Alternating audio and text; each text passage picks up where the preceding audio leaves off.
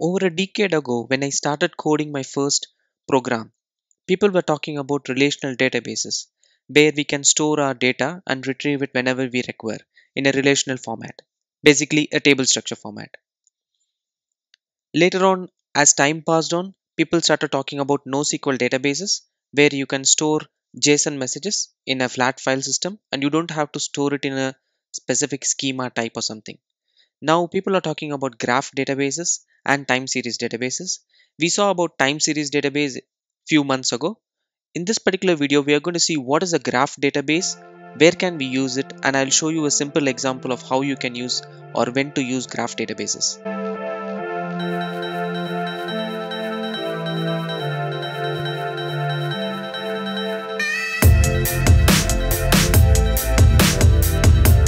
Press the bell icon on the YouTube app and never miss any update from Tech Primers. So the agenda for this particular session is going to be what is a graph database, when do we need it, and how is it different from a traditional database and how we can store the data in the database. We will see that with an example as well. So what are graph databases? According to Wikipedia, Graph databases are nothing but a type of database where you can store data in the form of nodes. As the name suggests, it is using a graph where we use nodes and there are edges which connect these nodes.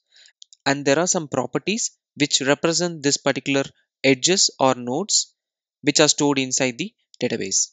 The major concept of the graph database is its relationship with which it is all linked together. These relationships are useful when we want to store this data inside the database and we can directly link them when we store them. And it is useful in lots of operations and we are going to see that in the future slides. So at a high level, graph database is a database, but you can store relationship with nodes. You will be storing a particular key set or a data set as a node and there will be relationship between these nodes and you can retrieve them however you want it or you can place them however you want it. So a typical example of um, a graph database could be a social networking site which has different friends. So let's say in facebook i have 100 friends. Those 100 friends will have their own friends. So all these will be linked together because i might have some mutual friends. So at a high level these profiles can be linked or can be stitched together in terms of relationship called friends right? So same way you can have different pages which we like we follow. You can have a nested graph with which we can identify a particular person and his relationships within the social network. So when do we need this particular graph database right? So as i suggested that is an example but how is it really helpful right? So it is helpful in solving many to many relationship problems. Like the example which i mentioned earlier when we have uh, friends of friends and stuff like that. These are many to many relationships right? It's not like a single one to one relationship or something like that. So it is useful relatively when you have lots of relationships and when the query in the relational databases are very complex and they are not efficient then you can go for graph databases where you can efficiently query many to many relationships in a much faster fashion. The next one would be the relationship between these data elements which are the primary or the first class citizens than the entity itself. So for example as i said right there are there is a profile and the profile has some specific information in it.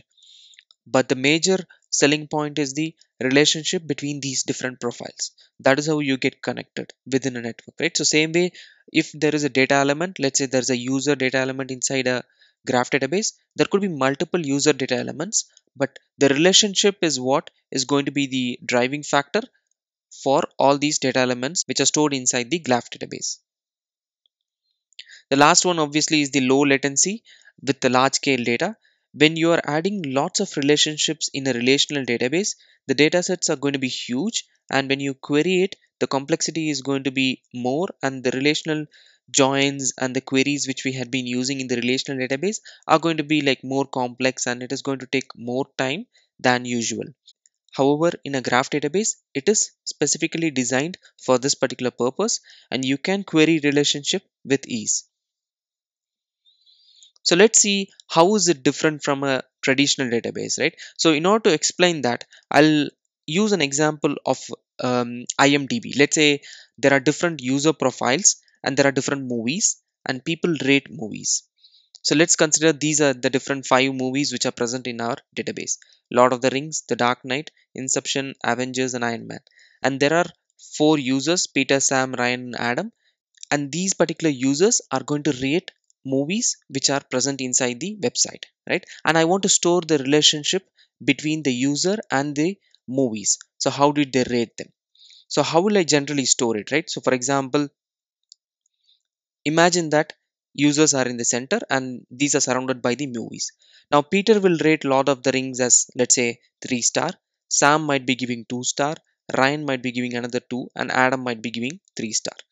So if you store this in a relational database we will be having a row or something right? Saying peter uh, the value of um, a column says which is a user which will be peter and the value of the column which says rating which will be 3 and the movie the, the value of the column movie will be like lord of the rings. So you will have like let's say four rows in this particular case right? Now imagine the other case. Peter is going to do the same for dark knight as well. So you will be having multiple rows. And if you notice there will be duplication of the user peter and there will be different movies with different rating right? However imagine a graph database. So if there is more complex operation so when when there were single rows it was all fine. But however when there are more users and more movies the complexity adds in right? If you see here now it is a more complicated relationship which we have created. And there will be lots of rows inside the database. And when you want to query for example when you want to query what ratings peter has given for different movies then it is very difficult. You will be getting like what uh, five rows right? When you say uh, select star from movie ratings where user equal to peter then you will be having five rows right? And you will have to figure out from that five rows. However in a graph database you can query directly by the relationships. So you can directly say i want the user peter and the corresponding ratings which he has given for a movie. So you will be getting it in a json format or something similar where you will be having all the relationships tied already and it will be faster. Compared to a traditional database where it is going to be more complicated a graph database is going to return you in a much faster fashion because it is designed for that particular purpose. And it will be stored like this like how we can see it right now. This is how it will be stored as well. So it will be stored in a nested structure where there will be relationships so for example this relationship is nothing but the movie rating right? Peter rated lord of the rings with 3 star. And the property 3 star is nothing but a property over that relationship right? So what is the rating which peter has given? The 3 star. So you can have multiple properties for a relationship. Here it is just the rating number which we have given. There are other use cases like how we saw for social networking. We can use it for recommendation services or personalization for a particular user. Uh, you can also use it for like a customer 360 degree which includes entity rela- relationships between different sources for that particular user. Or there are use cases where people use it for fraud detection or you can use it for resolving your authentication and authorization problem where you have a single user who has different roles and responsibilities and you want to map that and you want to relate different users with different user you can use relationships and the graph database concept in the in that particular case. I hope you guys understood um, what we discussed. So i'll just summarize what is a graph database. So graph database is a database where you will be storing data in the form of graphs and these data are called as nodes and you will be having relationship between these nodes so that you can easily query them and you can query based on relationships and the properties on that relationships. Why do we need it or when do we need it? We require these kind of data when we have many to many relationships or you want to have a low latency system which is processing at a large scale and also you want to get a holistic view of the relationships which are present inside the system and finally, how is it different from the other databases?